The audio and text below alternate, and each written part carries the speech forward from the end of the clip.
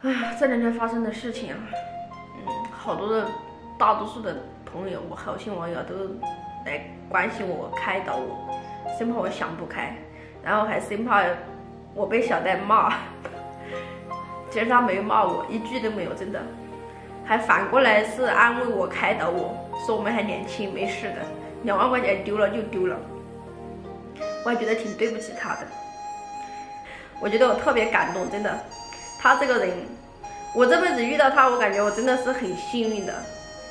他脾气好，然后对家庭很特别负责任，基本上平时就自己身上留留一点零花钱，然后所有的钱都是给我的。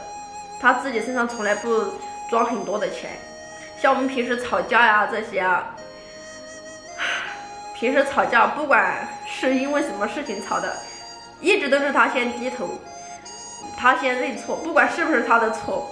他都会来给我认错。如果相同的事情发生在他身上，我的处理方式和他的处理方式是肯定是不同的。我肯定会生气，会骂他。戴飞还有他妈妈的态度让我感觉到很安心。我觉得我这辈子和他在一起很值得。今年是我们在一起的第十年，以后还有第二个十年、第三个十年、第四个十年，好多个十年。现在带飞他去接妍妍去了嘛？妍妍要放学了，然后我就随便说一下啊，以后还要打起精神挣钱养我们的两个女儿，可爱的两个宝宝。